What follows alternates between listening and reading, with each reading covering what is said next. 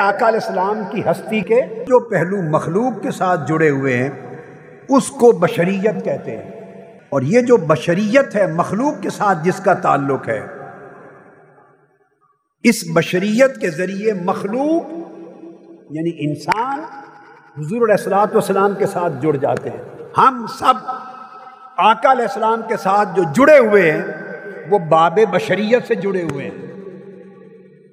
اگر بشریت کا دروازہ نہ کھولا جاتا آقا علیہ السلام پر، اور آپ کو شان بشریت عطا نہ کی جاتی، اور آپ کو بشریت کے رنگ سے اور پہلو سے نوازا نہ جاتا، تو ہم یعنی بشر، حضور علیہ السلام سے جڑ ہی نہ سکتے۔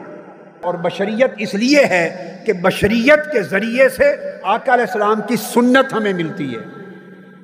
بشریت کے ذریعے سے آقا علیہ السلام کی سیرت ہمیں ملتی ہے۔ بشریت کے ذریعے سے آقا علیہ السلام کا اسبا ملتا ہے۔ چونکہ بشریت ہے تو آپ کھاتے ہیں، تو کھانے کی سنت ملتی ہے۔ بشریت ہے تو آپ کی شادی ہوئی، اس سے نکاح کی سنت ملتی ہے۔ بشریت ہے تو آپ نے سفر کیے، سفر کی سنت اور سیرت ملی۔ بشریت ہے تو آپ سوئے، آپ جاگے، آپ اٹھے، آپ چلے، آپ کی ولادت ہوئی، آپ کی وفات ہوئی، آپ نے ہجرت کی۔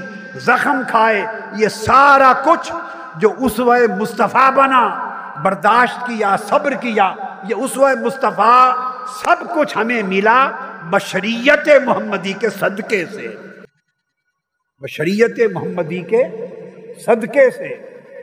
اگر بشریت کی شکل میں آپ کا ظہور نہ ہوتا، تو نہ کوئی آپ کو دیکھ سکتا، نہ کوئی آپ کو سن سکتا نہ کوئی آپ کی مجلس میں بیٹھ سکتا، نہ آپ سے کوئی رہنمائی لے سکتا، نہ آپ کی سنت پہ کوئی عمل کر سکتا، نہ کوئی اتباع کر سکتا۔ اور یاد رکھ لیں بشریت عطا کی گئی حضور کے لیے نہیں، ہمارے لیے۔